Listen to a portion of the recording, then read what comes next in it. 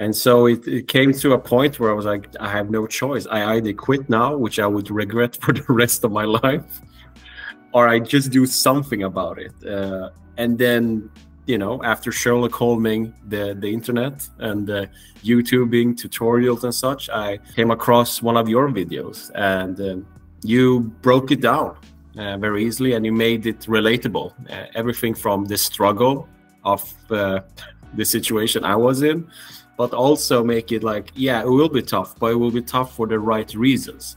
Instead of figuring how I should write, I can now instead have the luxury problem of thinking what to write. And that's a whole different type of challenge to have, a much preferred one. So, um, first of all, Shine, congratulations, because I know that you've handed in your thesis for proofreading and you got a green light on that. So that's good to go. And you're now finishing your paper So well done. Thank you. Yes. And you know, I, I want to dive deeper into like how you achieved all that and share yeah. maybe some strategies that have helped you achieve that. So hopefully any any other PhD students watching this can can also apply similar strategies to help them, you know, finish their own PhDs and and publish papers. Yeah. So um, before maybe we get into those specific strategies that allowed you to finish your your thesis, write a paper, I just want to you know get a little bit of context. So you know you're a phd student in computer human interaction but what what exactly do you do? And what's what's the what's the value that you're trying to provide with your research? So simply put you can i will talk about briefly from a general point of view and then what the thesis is about. So it's about virtual reality as you just mentioned but specifically how can we use virtual reality to involve the type of stakeholders that typically are not involved because of their lack of knowledge on how to interpret and understand 2D drawings and 3D models in the construction industry. But how we could establish a mutual language, i.e., virtual reality. So that would be like you are entering the, uh, the 3D model and stepping into it at one to one scale, which is way more understandable than a 2D drawing viewed on a flat screen. And so I'm trying to look into how we can establish those kind of user involvement processes to simply put, uh, design better buildings, uh, intended for its main purpose, for helping those that are going to work there. Uh, so that's my general take on it. And the thesis specifically had looked on that part, what I just described, but also, well, visual understanding is one thing, but how does it comply with, say, design guidelines and the design requirements specifically? Just because something is understandable does not necessarily mean that it complies with design requirements. And so I try to create with this thesis an understanding for what type of design tool uh, would we need to develop to satisfy the criteria of visual understanding as well as compliance with design requirements. So that's what the thesis is about. Super, super interesting stuff. And I imagine, yep.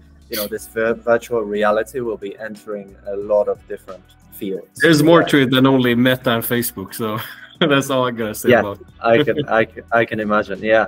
So yeah. if we can backtrack maybe to you know to when you joined phd accelerator that was yeah. what, like six months ago nine months ago? Yeah six months ago approximately. Yeah. Uh, seven seven eight. Yeah something along those what, what, what, was going on at the time? Why why did you decide to, well what was not going on Marek uh, i'll tell you this much. It was a lot of anxiety. Uh, it was a lot of panic.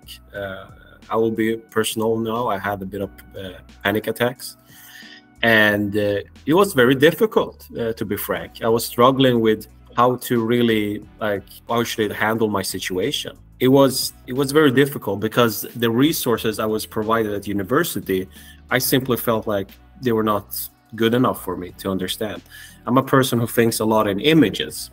And so for me when i was given a book to read on academic writing i know it worked for a lot of phd students but on the other hand, I know for a lot of PhD students, it did not work.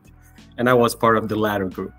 And so I found it even more uh, difficult and I felt more pressure to perform uh, for my supervisors and everyone around me and kind of killed the genuine curiosity I had for research and why I did it in the first place. And so it, it, came to a point where I was like, I have no choice. I either quit now, which I would regret for the rest of my life, or I just do something about it. Uh, and then, you know, after Sherlock Holming the the internet and uh, YouTubing tutorials and such, I came across one of your videos, and uh, you broke it down uh, very easily, and you made it relatable. Uh, everything from the struggle of uh, the situation I was in, but also make it like, yeah, it will be tough, but it will be tough for the right reasons. Instead of figuring how I should write, I can now instead have the luxury problem of thinking what to write. And that's a whole different type of challenge to have, a much preferred one. So, yeah, I guess that's the story on how came about your your help. Yeah, yeah, absolutely. So, so like the the anxiety and everything was it to do because you you didn't know how to write the thesis and the papers, exactly. how to structure them, how to put yeah. your ideas into words, or what was going yeah. on?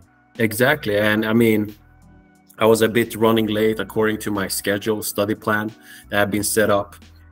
And so uh, I was pressured from my supervisors and from everyone around me, like, how is it going? How is it going? And uh, I was uh, uncomfortable with telling them straightforward, like the, the, the resources that I've been given, they're not good enough for me, simply. Uh, I don't learn this way. Uh, so it just got the, the pressure just got reinforced, the anxiety just got worse and worse. And so yeah that that the, that's how i saw the need for me to look at alternative ways uh, for getting help. Mm, for sure. Yeah and you mentioned that pressure as well from from the supervisor and everything. Can we share what happened like a few months later? I remember that your supervisor's reaction to your to your writing. Yeah yeah exactly uh, well, there was two uh, occasions. Uh, one was recent, but the first one I think you're referring to was I was three months in, I think, into the program, and they commented with one of the, I think, the third or fourth draft of the thesis. Uh, they were like, I don't know what's going on, but uh, whatever you're doing, you're on the right track. Just keep doing this just write like this because just for the viewers i want to share because of my unconfident ability to write i kind of hid behind fancy words and gibberish and you know if i use this word this sounds cool. But in reality i was just not confident in my ability to write and not even in the material itself the content. So i, I hid behind those fancy ways of articulating myself but uh, when I shifted over, and what is also uh, a recurring theme in your, the program is keep it simple. Like stop the yapping about and just go straight to the point, but don't just waffle, as the key word is. And so when I learned to write simple and straight to the point, it not only made the research understandable for me, but also for uh, the reader as well.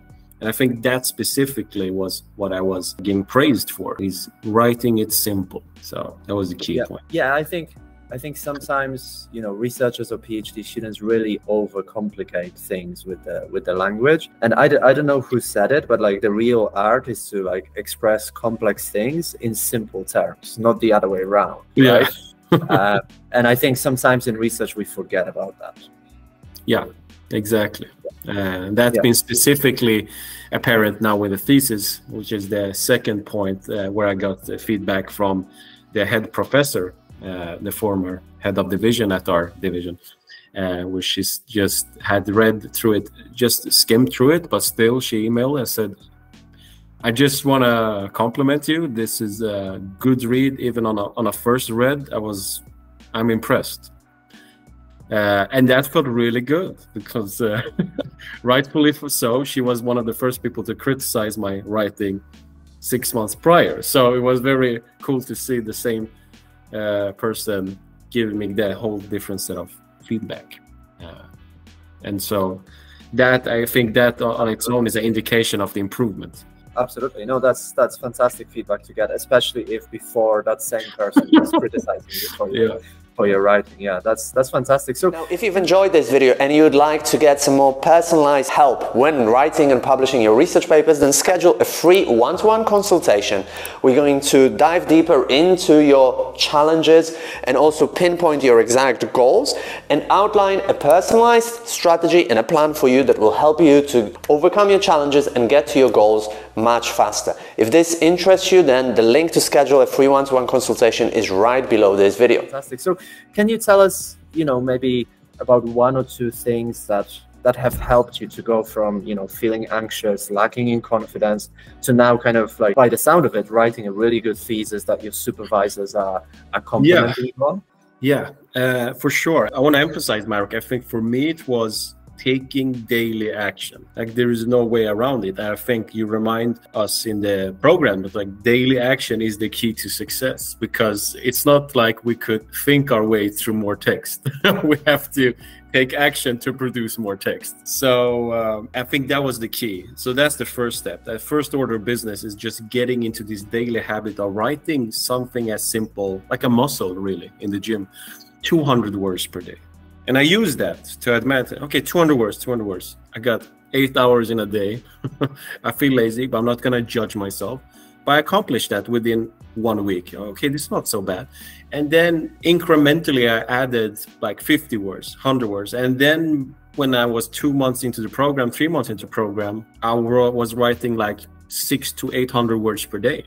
And it didn't feel that difficult. But six months prior to that, prior to joining the program, I tried with 800 words and it just got gibberish because I didn't know the structure, tried to use fancy words, and so on and so forth. But now with the program, I had the fundamentals and I just like a layer of pyramid, I built upon those skills. Uh, and that was super helpful. And then, of course, to be specific, apart from the daily action, was also going meaning by meaning, like word by word. What do I mean by this sentence? So it's not like writing a sentence and saying, so what?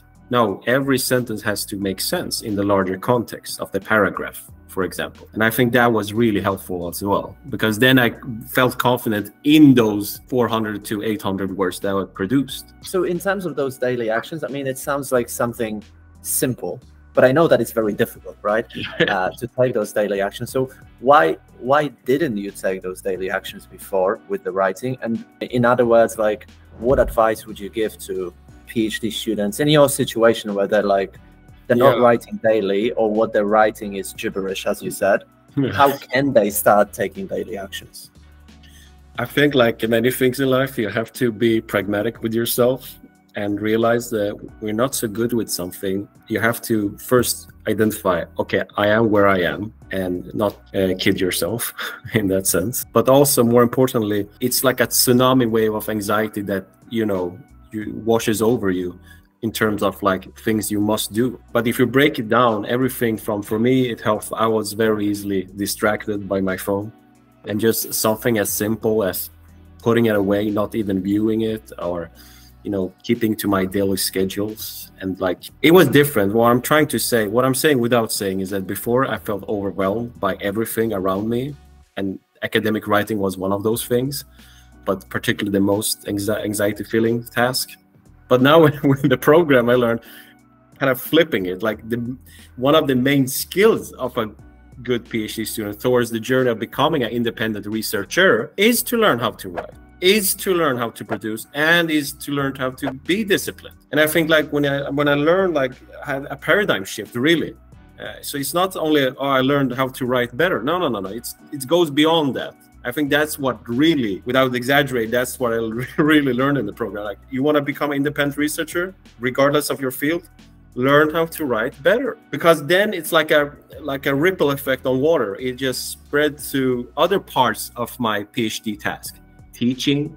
I became better at teaching to my students I was supervising what they should write in their text for their bachelor and master thesis. So, you know, uh, when I was teaching in the classroom, giving seminars, I felt confident because what I'm talking about now, I can feel, you know, I feel good about that. I know what I'm talking about. And last but not least, when I'm giving feedback back to my supervisor on my weekly progress, I feel like I've done this. So, it, but it all started with what? It started with learning how to write better.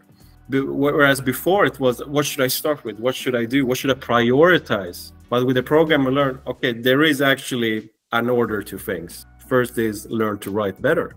Everything else is pretty much a distraction or down the priority. So that, that's what I really, really extracted from the course is learning how to prioritize what is important for me as a PhD student it's not uh, becoming a better teacher. I'm, I'm not here in the university to become a better teacher.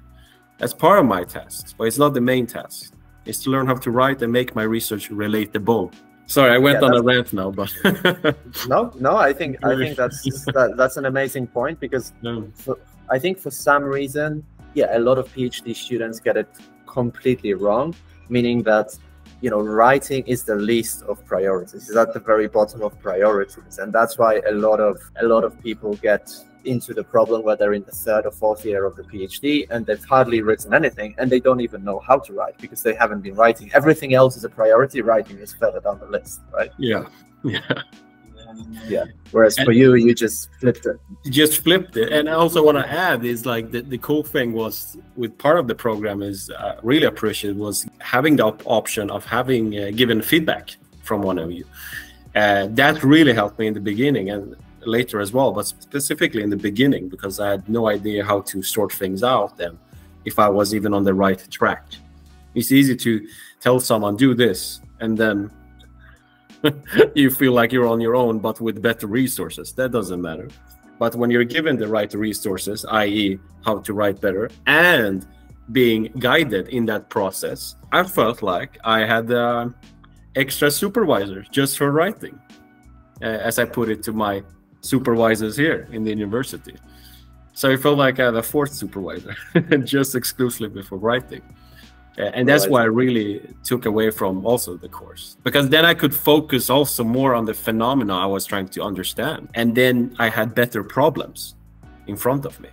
Instead of what should I do, it was like, what do I want to do? Uh, in terms of writing, that meant uh, this is, would be really interesting. How can we make a research question out of that? for example. I think it's different puzzle pieces coming together. Uh, and last but not least, many things now, but uh, the visual aspect.